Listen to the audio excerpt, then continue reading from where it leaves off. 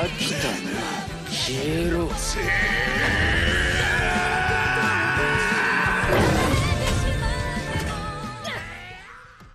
Bon, je sais pas quoi dire, le trailer, franchement, il est quand même assez incroyable. Yo tout le monde, c'est Aurel, aujourd'hui on se retrouve pour une nouvelle vidéo.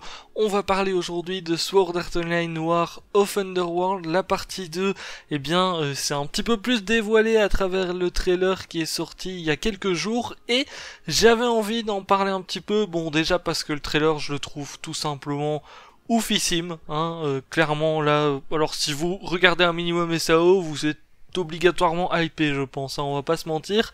Et euh, c'est vrai bah, qu'on peut se poser plusieurs questions par rapport à tout ça, notamment sur le réveil de Kirito, sur comment est-ce que ça va un petit peu se passer, parce que là, euh, on est sur un niveau au-dessus, au niveau de la guerre, et clairement, il y a des petites choses qui peuvent interpeller à certains moments, donc on va en parler, mais d'abord générique.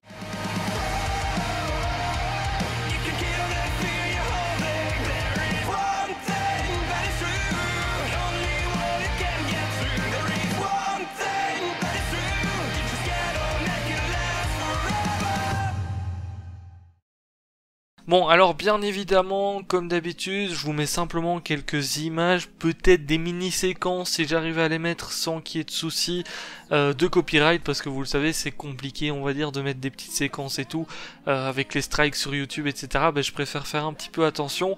Euh, si jamais vous voulez voir le trailer complet, en plus avec les sous-titres, etc., c'est dispo sur la chaîne directement de Wakanim, je vous mettrai le lien en description si jamais. Et je rappelle que l'animé démarre ce samedi, en tout cas le samedi qui arrive, parce que je pense que je poster cette vidéo le dimanche, donc euh, voilà. Et on va parler un petit peu de tout ça, parce qu'il y a plusieurs choses qui m'ont interpellé, et j'avais envie pour une fois de faire une petite vidéo bah, théorie, tout simplement.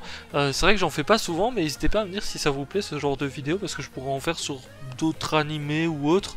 Et euh, bah, moi j'aime bien un petit peu donner mes petites hypothèses par rapport à tout ça, donc on va analyser rapidement le trailer bien évidemment, et je vais donner à chaque fois mon avis ou ma petite théorie par rapport à ce qui se passe. Bon, le trailer, clairement, il est ouf. Il y a un moment où j'ai kiffé, c'est quand on voit le début, on va dire, du combat entre Miller et euh, J'ai trouvé, franchement, ils ont changé un petit peu le design du combat à ce moment-là, et j'ai trouvé, mais que, c'était juste trop beau, en fait, tout simplement. Alors, il y a des petites choses qu'on peut déjà remarquer par rapport à ce combat-là, c'est que Berkouli n'a plus qu'un seul bras, donc ça veut dire qu'il s'est fait couper un bras, et là, on a une première question qui se pose, c'est que, bah, il affronte le Big Boss, l'air de rien il affronte le Big Boss et en tant que spectateur on sait que bah, le Big Boss logiquement il va tomber contre Kirito. Hein, c'est ce qu'on peut se dire, mis à part s'il y a un autre boss qui arrive à un moment donné, mais euh, globalement on peut déjà se dire que c'est Kirito qui va affronter Miller à la fin. Donc là on peut se poser la question, sachant que Berkouli il a déjà perdu un bras d'après ce qu'on voit dans le trailer, est-ce que eh bien, euh, ça serait pas un personnage amené à mourir. Ça, c'est déjà une première chose, et je pense que euh, ça frapperait assez fort par rapport à ce qui se passe, parce que Berkouli, c'est un petit peu euh, le chef dans la bataille du côté des, humains, et du coup, bah, c'est vrai que le fait que le chef tombe, ça peut clairement mettre un petit peu tout le monde en mode ok on va peut-être perdre et tout et c'est peut-être justement là que eh bien euh, Lifa, euh, Sinon, euh, Alice, etc. vont commencer à appeler un petit peu plus Kirito. Ça ferait un gros coup et je trouverais ça plutôt sympa. Bon, pas sympa parce que j'aime bien le personnage, mais je trouverais ça cool pour l'histoire en tout cas, qu'il se passe quelque chose comme ça. Ça mettrait vraiment le côté un petit peu bah, désespoir en avant. Est-ce que la bataille est gagnée, perdue? Enfin voilà, il y aurait un petit peu plus de de, tension, j'ai envie de dire, dans, la bataille, et ça serait plutôt pas mal qu'il y ait quelque chose comme ça. Après, juste le fait qu'il perde un bras, euh, même si euh, derrière il perd simplement et il meurt pas forcément, ben ça mettrait aussi en avant le fait que Miller, bah effectivement, euh, il a encore rien montré de sa puissance, parce que l'air de rien, Miller, dans la saison, enfin dans la partie 1, plutôt de, de la guerre, c'est vrai qu'on l'a pas trop vu non plus.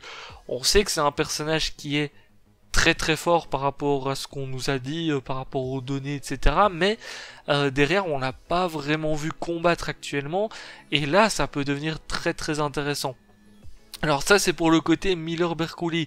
Derrière on a aussi bah, justement le on va dire euh, la, la, la puissance de la guerre, le fait que ça soit hyper sanglant et tout, qui est montré par rapport à Lifa qui a des épées plantées dans le dos, euh, c'est vrai que c'est quelque chose qu'on voit pas souvent dans SAO jusqu'ici, parce que comme je l'avais déjà dit dans mes reviews de Alicization, mais c'est vrai que SAO jusqu'ici, vu que ça se passait dans des jeux, on n'avait pas le côté... Euh, vraiment sanglant, etc. Alors qu'ici on est carrément dans une guerre, et oui, effectivement, il y a du sang, c'est pas juste des pixels ou quelque chose comme ça quand ils se font toucher. Ça c'est un aspect que je kiffe dans Alicization, c'est que t'as l'impression que les combats finalement ils sont beaucoup plus euh, sérieux que dans tout ce qu'on a vu dans SAO et tout. Même si dans SAO, bah oui, tu mourrais dans le jeu, tu mourrais aussi euh, dans la vraie vie, mais c'était pas montré de la même manière, on va dire. Et ici, t'as l'impression que quand un perso, bah, il est euh, en sang et tout, euh, voilà, t'as beaucoup plus l'impression qu'il a mal et tout ça. Donc ça, c'est quelque chose que je kiffe bien. Et là, on voit Lifa qui est quand même dans une position assez compliquée, hein, avec toutes les épées dans le dos et tout, mais bon. Franchement, elle a l'air stylée. Lifa, c'est pas le perso que je préfère, mais faut avouer que là, il y a certains moments dans le trailer, à un moment donné, on la voit euh, de dos notamment, et puis t'as l'impression elle va tout dégommer, donc c'est quelque chose que, que j'attends impatiemment, et je pense que beaucoup vont changer d'avis sur elle. Enfin, si elle est aussi badass euh, dans ces combats qui vont arriver dans l'animé, là il y a clairement moyen que ça soit assez fou. Alors une des grosses questions qu'on se pose aussi, c'est bien sûr par rapport à Kirito et par rapport à son réveil. Et alors là, eh bien, on peut avoir des petits éléments de réponse dans tout le trailer. Alors je vais faire ma petite théorie par rapport à ça, c'est peut-être un petit peu farfelu pour certains, peut-être que c'est ça, j'en sais rien. Euh, j'ai pas lu le Light Novel, donc je ne saurais pas vous dire si effectivement ma théorie est bonne ou pas, mais euh, bon, ma théorie c'est tout simplement que en fait euh, Kirito va se réveiller grâce à Sinon, Lifa, Asuna, Alice et Yujo. Alors dans le sens où dans le trailer on les voit à un moment donné, elles crient toutes après Kirito notamment, et puis t'as une espèce d'aura qui est autour d'eux aussi, de couleurs différentes et tout. Et puis tu vois Kirito qui est allongé et lui aussi brille un petit peu. Donc je pense qu'en fait, euh, on va dire que les âmes et du coup les Flucklight de euh, Alice, Lifa, Asuna et Sinon vont rentrer en résonance, on va dire ça comme ça, avec le Flucklight de Kirito. Hein, le Fluglight, c'est entre guillemets euh, l'âme des, des, personnes. Donc, euh, bon, on va dire qu'elles vont rentrer en résonance, c'est ce que je pense, mais à mon avis, ça suffira pas.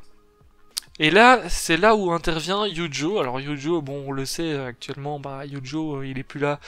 malheureusement, moi, c'était un personnage que j'aimais bien parce que je trouvais que au fil d'Alicization et tout, il y avait vraiment une évolution au niveau du personnage, etc. Finalement, au début, je pensais que c'était un Kirito 2.0 mais euh, au fil du temps bah j'ai trouvé que finalement non. Et c'était un personnage que j'aimais bien. Et il y en a beaucoup qui pensent que Yujo va revenir. Alors pour moi effectivement Yujo va revenir. On va bon parce qu'on le voit dans le trailer enfin on le voit pas vraiment mais on l'entend dans le trailer. Bon il y a des petites séquences où on le voit aussi mais c'est plus des séquences qui sont imaginées finalement. Et je pense effectivement que Yujo va revenir mais pas euh, en tant que le Yujo qu'on connaît tout simplement. Je pense simplement que entre guillemets l'âme de Yujo se trouve dans son épée, l'épée qui est d'ailleurs aux côtés de Kirito. Et euh, je pense tout simplement qu'en fait, à un moment dans les séquences du trailer, j'essaierai de vous mettre des screens à chaque fois de ce que je raconte, mais à un moment dans le trailer, on voit notamment bah, l'épée de la rose bleue, si je me trompe pas sur le nom, et on voit Yujo qui est, enfin, le bas du corps de Yujo qui est là euh, dans l'épée. Et en fait, je, je pense que Yujo va revenir, mais ça sera plutôt dans l'épée, et du coup, il va combattre effectivement aux côtés de Kirito. Et euh, Kirito, bah lui, il sera revenu grâce, euh, on va dire, à la résonance par rapport aux âmes de, en entendant euh, Lifa, Sinon, Asuna, etc. crier. Donc c'est ça qui va le réveiller en grande partie. Puis derrière, il y a Yujo aussi qui va lui dire, bon, il est temps que tu te réveilles. D'ailleurs, il y a euh, Yujo qui dit ça à un moment donné. Enfin, il dit, allons-y, Kirito. Et du coup, je pense qu'effectivement, Kirito, en fait, va combattre avec Yujo, sauf que Yujo, ça sera simplement l'épée, parce que bah, Yujo ne va pas revenir euh, tel que certains le pensent, il va pas, euh, enfin voilà, il va pas revenir euh, en chair et en os, on va dire, et ça sera plutôt par rapport à l'épée, et donc on a Kirito qui va prendre l'apparence de sa version de Sword Art Online, donc la version qu'on connaît hein, de la partie 1 de la saison 1, un petit peu comme il y a eu finalement dans le film euh, Ordinal Scale, pour ceux qui ont regardé, à un moment donné, on voit Kirito qui est euh, habillé comme dans SAO, euh, etc. Et je pense que ça va plutôt être une image comme ça. D'ailleurs, sur l'affiche finalement de la partie 2, on voit Kirito qui est clairement habillé comme ça. Et d'un autre côté, on voit aussi euh, bah, Yujo qui est du côté droit et Alice du côté gauche. D'ailleurs, on a une autre Alice qui est euh, tout en bas de l'affiche où il y a son épée et tout. Et là, il y a une petite théorie qui me vient en tête, mais je trouverais ça vraiment farfelu. Pour le coup, là, ce que je vais dire maintenant, euh, je doute que ça soit le cas, mais je me dis que c'est possible quand même. Alors pour moi, euh, c'est possible qu'Alice aussi, euh, finalement, euh, je sais pas, transfère son âme ou je sais pas trop quoi, un petit peu en épée, finalement, euh, comme Yujo, et que finalement Kirito utilise les deux. En fait, c'est par rapport à l'affiche que je me dis ça, parce que sur l'affiche, on voit Alice tout en bas, et on voit bah, son épée finalement, son épée qui est en, or, là je sais plus le nom exactement de son épée, mais on la voit comme ça. Et en fait, je me dis que pour marquer un gros coup et montrer qu'effectivement bah, Kirito il combat avec Yujo, pourquoi ne pas le faire combattre aussi avec Alice finalement? Parce que c'est un petit peu le trio de base qu'on a depuis le début dans Alicization en fait. Et du coup je me dis que bah, le truc ça serait que Kirito soit là en mode euh, il est habillé comme dans SAO et tout, il a ses yeux de dieu et tout là qui sont jaunes. Et derrière, boum, une de ses épées en fait représente Yujo et son autre épée représente Alice. Ça, c'est ma théorie farfelue, mais qui je pense est possible? En vrai, en voyant l'affiche, j'ai envie de dire ça, mais euh, je suis pas sûr non plus à 100%. Alors il y a un autre truc aussi que certains m'avaient dit en commentaire lors de mes reviews, c'est qu'à un moment donné, on allait revoir Yuna et Eiji, donc du film euh, Ordinal Scale, et notamment on m'avait parlé de ça au moment où on voit quelqu'un qui avec une fée quand Lisbeth fait son euh, son discours et là, dans les trailers, on n'a pas vu ça. On n'a pas vu Yuna et Eiji, et je sais que Yuna et Eiji sont euh, des persos pour Ordinal Scale notamment, et qu'ils euh, n'apparaissent pas dans le light novel au niveau d'Alicization notamment. Mais euh, bon, ils peuvent très bien les introduire parce que finalement ça a été des joueurs d'un des jeux aussi, et de Ordinal Scale plus particulièrement. Eiji était aussi dans SAO, donc c'est possible qu'ils réintroduisent les deux finalement dans cet arc. Et bah, c'est vrai que ça serait plutôt pas mal et ça serait plutôt logique vu que on les voit euh, dans, dans l'opening. Pourquoi est-ce qu'ils ont mis euh, Yuna là voilà, clairement il faut qu'à un moment donné elle apparaisse quelque part, donc pour le moment on la voit pas, mais je pense euh, aussi qu'elle va apparaître comme certains me l'ont dit euh, en commentaire. Je pense que ça serait logique par rapport à l'opening vu qu'on l'a déjà vu euh, dans l'opening à un moment donné on la voit chanter et tout. et Iji je sais plus si on le voit exactement dans l'opening, mais c'est possible qu'il passe en même temps que, que Yuna, donc... Voilà, il y a ce petit truc là aussi. Je pense qu'effectivement on va les revoir. La théorie des gens, ça serait Keiji soit euh, en forme normale et Yuna peut-être plus en fait. Mais bon, ça, euh, pour le moment, ben, ça reste à voir parce que Yuna euh, actuellement, elle est morte et du coup, ça serait plutôt une IA un petit peu comme peut Yui notamment ce qui est euh, possible et ça serait peut-être pour ça qu'on la voit en fait. Après ça serait un petit peu bizarre parce que ça serait un mélange un petit peu de tout. Euh, imaginez si on a Yuna qui débarque en fait, à un moment donné dans le trailer on voit euh, Sinon qui sort un gun, pareil pour Miller à un moment donné je crois qu'il a un gun dans le trailer. Ah, ça commence un petit peu à tout mélanger et ça par contre personnellement quand j'ai vu Sinon qui sortait son sniper au début je me suis dit oh elle a son sniper j'étais là en mode ah trop cool et tout et puis je me suis vite dit, mais attendez une seconde là. Euh, ça n'a rien à faire là finalement. Et du coup, je sais pas trop, parce que j'ai l'impression qu'ils essayent un petit peu de faire un mixte de tout, qui veulent vraiment montrer que c'est euh, l'affrontement final d'Alicization. D'ailleurs, on fait revenir un petit peu tout le monde euh, dans l'affrontement, parce qu'on voit un petit peu tout le monde dans le trailer, on voit Silica et tout, donc c'est vrai que on va être amené à voir un petit peu d'autres univers, ou des personnages en tout cas qui viennent d'autre part, parce que euh, bah, L'IFA par exemple, on l'a vu dans Alfheim Online, mais quand elle vient ici, elle a euh, sa forme euh, Terraria si je me trompe pas, et donc elle a directement des vêtements différents, etc. Mais pour les autres joueurs qui viennent d'Alfheim Online, ben, ils n'auront pas justement euh, un compte comme Terraria pour l'IFA. Et du coup, à partir de ce moment-là, ben, on va voir effectivement des gens qui sont plus en mode comme dans Alfheim Online, etc. Donc j'ai un petit peu peur qu'il y ait un petit peu un mixte de tout ce qu'on a vu comme jeu euh, finalement jusqu'ici. Ça c'est mes craintes. Ça c'est ma grande crainte par rapport à cette partie 2, c'est le fait que ça parte un petit peu dans tous les sens à ce niveau-là, mais euh, sinon au niveau des autres trucs, j'attends de voir pourquoi est-ce que Kirito va se réveiller, parce que quand on voit le trailer de base, on pourrait se dire ok il va se réveiller juste grâce au pouvoir de l'amitié, euh, de l'amour, parce que tout le monde crie après. Euh, du coup il va venir euh, comme un comme un dieu finalement, il va un petit peu sauver tout le monde comme ça. Mais je pense qu'il y aura une explication un petit peu plus poussée. N'hésitez pas à me donner votre théorie en commentaire bien évidemment.